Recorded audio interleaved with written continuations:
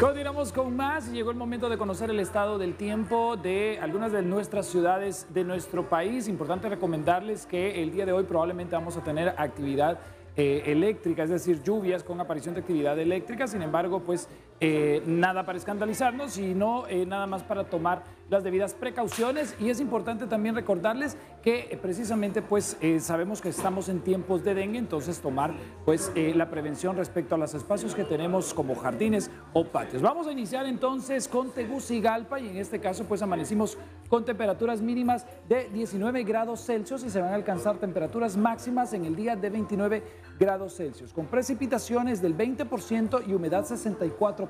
Nos vamos hasta Comayagua. En Comayagua amanecimos con temperaturas mínimas de 21 grados Celsius y se van a alcanzar temperaturas máximas de 32 grados Celsius, precipitación del 50% y humedad 67%. Importante mencionarles que probablemente tengamos también lluvias en todo el territorio nacional, pero moderadas, es decir, pues algo como por la tarde que tuvimos ayer en Tegucigalpa, es decir, unas lluvias que eh, pues de repente iban a afectar nada más el momento de manejar, sin embargo, pues nada más tomar la precaución de vida. Nos vamos hasta San Pedro Sula, amanecimos con temperaturas mínimas de 23 grados Celsius y se van a alcanzar temperaturas máximas de 31 grados Celsius, con precipitaciones del 80% y humedad 79%. En este caso, pues también vamos a tener bastante probabilidad de lluvia por horas de la tarde o en la noche. Y nos vamos hasta Choluteca. Amanecimos con temperaturas mínimas de 23 grados Celsius y se van a alcanzar temperaturas máximas de 36 grados Celsius. En este caso, con precipitaciones del 70% y humedad 62%. Y por supuesto hay que tener cuidado, sobre todo para las personas mayores que padecen de las vías respiratorias,